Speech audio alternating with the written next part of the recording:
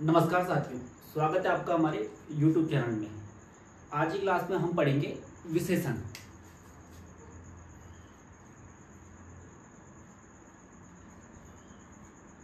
ठीक हो गया? चलिए। संज्ञा, सर्वनाम और क्रिया के बारे में हम लोग पढ़ चुके हैं। इस शनिवार को जो आपका एग्ज़ाम होना है, उसमें भी आपका क्या है? संज्ञा, सर्वनाम, क्रिया, विशेषण इन टॉपिकों से ही प्रश्न पूछे जाएँगे। मैंने आपको पहले बताया था। ठीक हो गया? बात की जाए विशेषण की अगर तो विशेषण शब्द क्या होते हैं? ठीक? तो वह शब्द जो संज्ञा या सर्वनाम की विशेषता बताने का कार्य करते हैं। ठीक हो गया? क्या करेंगे ये? या संज्ञा शब्द की विशेषता बताएँगे या सर्वनाम शब्द की विशेषता बताएँगे? तो ये क्या कहलाएँगे? विशेषण कहलाएँगे। एग्ज़ाम्पल से समझते हैं। हमने लिखा राम अच्छा लड़का है? ठीक हो गया? राम अच्छा लड़का है। अब जो यहाँ पर लड़का शब्द है, ये क्या है? संज्ञा शब्द है। और लड़का कैसा संज्ञा है? तो लड़का जातिवाचक संज्ञा है। पढ़ाया आपको। तो लड़का की विशेषता क्या है? लड़का कैसा है? अच्छा है। तो ये अच्छा ही क्या कहलाएगा? विशेषण कहलाएगा। ठीक हो गया? अब विशेषता किसकी बताई गई है? विशेषता लड़का की बताई गई है। तो लड़का जो शब्द होगा, ये क्या कहलाता है? यही शब्द विशेष्य कहलाता है। ठीक है? जिस शब्द की विशेषता बताई जाती है, उसे विशेष्य कहते हैं, और जो विशेषता बताई गई होती है, उसे विशेषण कहते हैं। ठीक हो गया? अब यहीं पर एक पॉइंट और देख लो। ऐसा अगर आ जाए, राम तो बहुत अच्छा लड़का है। राम क्या है? बहुत अच्छा लड़का है। ठीक हो गया? तो लड़का तो आपने बोल दिया विशेष्य है। अच्छा आपने बोल दिया विशेषण है। अब ये जो बहुत शब्द है, अगर कभी इसको अंडरलाइन किया हो तो जो शब्द विशेषण की भी विशेषता, देखो अच्छा अच्छा भी क्या? बहुत अच्छा कम अच्छा है ना? तो अच्छे की विशेषता बता रहे हैं यहाँ पर बहुत। तो ये विशेषण की भी विशेषता जो शब्द बताते हैं, इनको हम लोग कहते हैं प्रविशेषण। ठीक? ये तीन पॉइंट पहले आप याद करेंगे। विशेषण, वह शब्द जो संज्ञा सर्वनाम की विशेषता बताते हैं, विशेष्या, जिसकी विशेषता बताई जाती है, प्रविशेषण, जो विशेषण की भी विशेषता बताए। इतना क्लियर हो गया आपका? ठीक हो गया? चलिए, अब बात करें विशेषण की तो विशेषण चार प्रकार के होते हैं हमारे पास। कितने प्रकार के विशेषण? चार प्रकार के विशेषण। एक आपके पास गुणवाचक विशेषण होता है। ठीक हो गया? गुणवाचक। एक होता है परिमाणवाचक। परिमाणवाचक विशेषण। एक होता है संख्यावाचक। और एक होता है आपके पास लास्ट में सार्वनामिक विशेषण। कौन सा? सार्वनामिक विशेषण। ये चार प्रकार के हमारे पास क्या होते हैं? विशेषण। अगर आएगा विशेषणों की संख्या कितनी होती है तो आप बोलेंगे चार। ठीक हो गया? अब बात करते हैं गुणवाचक विशेषण में। इसमें क्या क्या आता है? इसमें रंग आ जाएगा, इसमें आकार आ जाएगा। ठीक हो गया? इसमें ही क्या आ जाएगा? दशा आ जाएगी। है ना? दशा मतलब अच्छा रंग में कोई सा भी रंग का नाम ले लो आप लोग। लाल, पीला, हरा, नीला, काला, ये सब क्या है? गुणवाचक विशेषण में। बात करें अगर आकार की तो आकार में मतलब लंबा, छोटा, ये सब किसमें आ जाएगा? आपका आकार में आ जाएगा। दशा। दशा में क्या आ जाएगा? हमारा स्वस्थ व्यक्ति। उसकी दशा कैसी है? वो स्वस्थ है। रोगी इसमें आ जाएगा। ठीक हो गया? ये दशा में आ जाएँगे। आपका इसके अलावा समय। जो आपका समय होता है, वो भी किसमें आता है? गुणवाचक में आ जाता है समय। प्रातः काल, सायकाल, रात्रि काल तो समय भी सारा किसमें आता है आपका? गुणवाचक में। गुणवाचक एग्ज़ाम्पल जैसे मैं यहाँ पर लिखूं, मेरे या मेरे पास लाल पेन है। तो पेन की विशेषता क्या हो गई? लाल और लाल कैसा विशेषण हो जाएगा आपके पास? गुणवाचक विशेषण में। इतना ठीक है आप लोगों का भाई? इतना क्लियर है?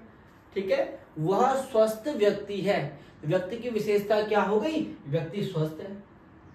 तो गुणवाचक विशेषण में क्या आता है? रंग आता है, आकार। मोहन लंबा है। मोहन की विशेषता क्या हो गई? वो लंबा है। ठीक हो गया? इतना क्लियर है? चलिए बात करते हैं परिमाणवाचक विशेषण की। परिमाणवाचक विशेषण को आप लोग दो प्रकार में बांट सकते हैं। एक आपका निश्चित परिमाणवाचक, एक आपका अनिश्चित परिमाणवाचक। ये दो में विभाजित होगा। निश्चित परिमाण, अनिश्चित परिमाण। परिमाणवाचक में सीधा सीधा वो शब्द आते हैं जिनकी आप क्या कर सकते हैं माप तोल कर सकते हैं। जिनको मापा तोला जाएगा। कभी भी कंफ्यूज मत होना। लिखा होगा, मैंने एक किलो चीनी खरीदी। एक किलो चीनी खरीदी। तो चीनी की विशेषता क्या है? एक केजी यहाँ पर। अब एक केजी में कभी ये मत ध्यान रखना कि एक आ गया और आपने संख्या कर दिया, गलत हो जाएगा। एक किलो जब आप दुकानदार से मांगोगे ना तो तोल के देगा आपको। जो चीज़ें मातुल की जाती हैं, वो परिमाण में आती हैं। अब एक केजी क्या है? निश्चित परिमाण है। फिक्स है। इतना क्लियर है? मैंने आधा किलो तेल खरीदा। तो आधा किलो क्या है? फिक्स क्वांटिटी है। समझ गए बात को? मैंने चार मीटर कपड़ा खरीदा। तो ये सारी चीज़ें किसमें आएगी? निश्चित परिमाण वाचक में। जिनको भी आप मापोगे या तोलोगे, सब निश्चित परिमाण में या परिमाण वाचक में आएँगे। अब निश्चित में आपको एग्जैक्ट चीज़ का पता लग जाएगा क्वांटिटी का। अनिश्चित में क्या आएगा? मैंने कुछ चावल खरीदे। मैंने कुछ चावल खरीदे। तो वो किसमें आ जाएगा? अनिश्चित वाचक में आ जाएगा। इतना ठीक है भाई? ठीक हो गया? चलो। या और एग्जांपल बोले इसका एक अनिश्चित वाचक का। तो मैंने थोड़ा पानी पिया। क्या पिया? थोड़ा पानी। अब थोड़े में कितना आएगा, कुछ पता नहीं है। चलिए, बात की जाए संख्यावाचक विशेषण की। तो संख्यावाचक विशेषण भी दो टाइप के होते हैं। एक आपका निश्चित संख्यावाचक, एक आ जाएगा अनिश्चित संख्यावाचक। ठीक हो गया? अब निश्चित जो संख्यावाचक आपका है ना, इसके हम कुछ पार्ट पढ़ते हैं। जैसे, इसमें आएगा पूर्णांक बोधक। पूर्णांक बोधक। इसमें आएगा एक अपूर्णांक बोधक। ठीक हो गया? तीसरा इसमें आ जाएगा क्रमवाचक। चौथा आ जाएगा इसमें आवृत्ति वाचक ये सब किसके अंतर्गत आते हैं? ये आते हैं निश्चित संख्या वाचक के अंतर्गत। एक पूर्णांक बोधक, अपूर्णांक बोधक, क्रमवाचक आवृत्ति वाचक और एक आता है इसमें समुदाय वाचक या समुदाय बोधक निश्चित संख्यावाचक। ठीक हो गया? पूर्णांक बोधक निश्चित संख्यावाचक में क्या आते हैं? इसमें आएगा आपका, मैंने एक रोटी खाई। तो रोटी को आप क्या कर रहे हो? काउंटिंग कर रहे हो ना? जहाँ पर आप काउंटिंग करोगे, मैंने चार पेन खरीदे यहाँ पर आएगा पूर्णांक में एक, चार, दो। वहीं आप बोलो कि मैंने आधा रोटी खाई। आधा रोटी। तो आधा किसमें आएगा? निश्चित संख्या वाचक में आएगा आधा, क्योंकि आपको पता है मैंने आधा खाई। तो लेकिन वो किसमें आएगा अपूर्णांक बोधक में। कभी कभी यहाँ से प्रश्न बना देता है एग्जामिनर कि निश्चित संख्या वाचक में किसके अंतर्गत है? तो आप बोलोगे, आधा किसमें अपूर्णांक बोधक। डेढ़ आएगा, ढाई इधर आएगा। ठीक हो गया? क्रम वाचक में क्या आता है? राम का राम का अपनी क्लास में चौथा स्थान है।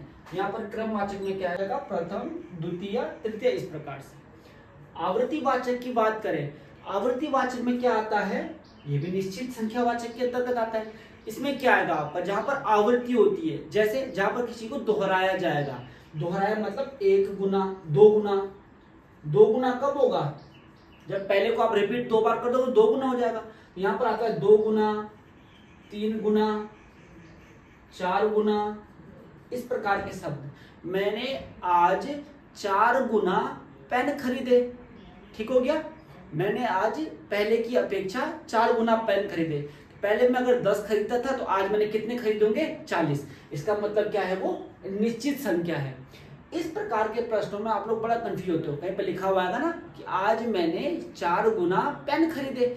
चार गुना का मतलब क्या है? जब आपको एक गुना पता होगा, तभी तो आपने आज चार गुना खरीदे। तो वो किसमें आता है? निश्चित। निश्चित संख्या में आता है और उसके भी आवृत्ति वाचक के अंतर्गत आता है। इतना क्लियर हो गया? समुदाय वाचक में क्या आ जाएगा? समुदाय वाचक में एक पूरा समुदाय बन जाता है आपका। समुदाय मतलब एक पूरा जोड़ा बन जाता है। जैसे तुम दोनों आना, है ना? दोनों, तीनों, चारों, पाँचों, इस प्रकार उनका क्या बन रहा है? एक समुदाय बन रहा है, जोड़ा बन रहा है ना? तो वो किसमें आता है? समुदाय बोल इतना क्लियर है? संख्यावाचक में वो चीज़ें आएँगी जिनको आप गिन पाओगे। जैसे, मैंने दो दर्जन केले खरीदे। अब दो दर्जन केले में बड़े बच्चे कंफ्यूज होते हैं। कुछ बच्चे बोलेंगे, इसको परिमाण कर दो। जी, माप तोल भी भाई, केले को कोई दुकानदार जब आप केले लेने जाते हो तो क्या वो तोलता है? तोलता नहीं है ना? वो वहाँ पर क्या करता है? केलों की गिनती करता है। दर्जन मतलब बारह केले, दो दर्जन मतलब चौबीस केले। तो केले चौबीस कितने हो गए? निश्चित संख्या होगी ठीक हो गया? अनिश्चित संख्या में क्या होगा? मैंने कुछ पेन खरीदे। अब कुछ पेन पेन तो गिने जाएँगे, संख्यावाचक तो है, लेकिन कुछ किसमें आ जाएगा? अनिश्चित संख्यावाचक में आ जाएगा। ठीक हो गया? आज सब विद्यार्थी आए हैं। अब सबको हम कितने? हाँ अच्छा एक मिनट देखना है। अगर मैंने बोला, आज कक्षा में सभी विद्यार्थी आए हैं। ठीक हो गया? इसको आप लोग बताएँगे। आज कक्षा में सभी विद्यार्थी आए हैं। इसको आप लोग बताएँगे, ये निश्चित संख्या वाचक होगा या अनिश्चित संख्या वाचक होगा? ठीक हो गया? कमेंट ज़रूर करना इसका भाई। तब मैं आपको सही आंसर वहाँ पिन कर दूँगा। ठीक हो गया? चलिए, बात करते हैं सार्वनामिक विशेषण की। सबसे ज़्यादा जो आपको समस्या में डालता है, वो क्या है? सार्वनामिक विशेषण ही है। सार्वनामिक विशेषण की परिभाषा इन तीनों से थोड़ा सा अलग होती है। विशेषण की परिभाषा वह शब्द जो संज्ञा सर्वनाम की विशेषता बताते हैं, लेकिन सार्वनामिक विशेषण की परिभाषा क्या होती है? वह शब्द जो सिर्फ़ सिर्फ़ किसकी विशेषता बताएँगे? सर्वनाम शब्दों की विशेषता बताएँगे। वह शब्द जो सर्वनाम शब्दों की विशेषता बताते हैं, उनको सार्वनामिक विशेषण कहते हैं। जैसे, यह पुस्तक मेरी है। अब यहाँ पर जो यह शब्द है, वो किसकी विशेषता बता रहा है? पुस्तक की विशेषता बता रहा है। यहाँ पर ये क्या हो जाएगा? सार्वनामिक विशेषण। आपने एक निश्चयवाचक सर्वनाम पढ़ा होगा, वो क्या होता है? यह मेरी पुस्तक है। ठीक हो गया? मैं बोलूँगा, यह मेरी पुस्तक है। अब देखो यहाँ पर यह शब्द क्या आ रहा है? मेरी शब्द आ रहा है। मेरी शब्द क्या है? ये सर्वनाम शब्द है। यहाँ पर सर्वनाम शब्द क्या, सर्वनाम के आगे क्या आ रहा है यहाँ पर भी? सर्वनाम आ रहा है। इसका मतलब ये सार्वनामिक विशेषण नहीं है। जब क्या होगा? सर्वनाम शब्द यह है, इसके बाद क्या होगा? कोई संज्ञा शब्द होगा। तभी क्या होगा? अच्छा सॉरी मैंने यहाँ पर गलत लिखा मैंने यहाँ पर। सर्वनाम विशेषण किसकी विशेषता बताते हैं? संज्ञा शब्दों की विशेषता बताते हैं। मैंने यहाँ पर गलत लिख दिया था, ठीक है? तो यहाँ पे क्या आना चाहिए? संज्ञा आना चाहिए। जब किसी संज्ञा शब्द की विशेषता कोई सर्वनाम बताएगा तो वहीं पर के वहीं पर क्या होगा? सार्वनामिक विशेषण होगा। ठीक है? अदरवाइज़ क्या होगा? अगर दो सर्वनाम शब्द साथ में आ रहे हैं तो वहाँ पर निश्चयवाचक सर्वनाम होता है। ठीक हो गया? इसमें आप लोग गलती करते हैं, बड़ी ज़्यादा। ठीक? हाँ अगर कहीं पर ऐसा आ जाए, वह चला गया। तब यहाँ पर ये वह क्या है ये पुरुषवाचक सर्वनाम है, आपको पढ़ाया गया है। सार्वनामिक विशेषण कब होगा? जब सर्वनाम शब्द के बाद क्या आना चाहिए? संज्ञा आना चाहिए। अब जो बच्चों पूरा पढ़ रहे हैं, है ना, जो डे वन से क्लासेस ले रहे हैं, उनको थोड़ा बहुत समझ में चीज़ें आ रही होंगी। ठीक हो गया? तो ये आपका था विशेषता चैप्टर इसमें इतना ही। आज की क्लास यहीं पर समाप्त करते हैं। धन्यवाद।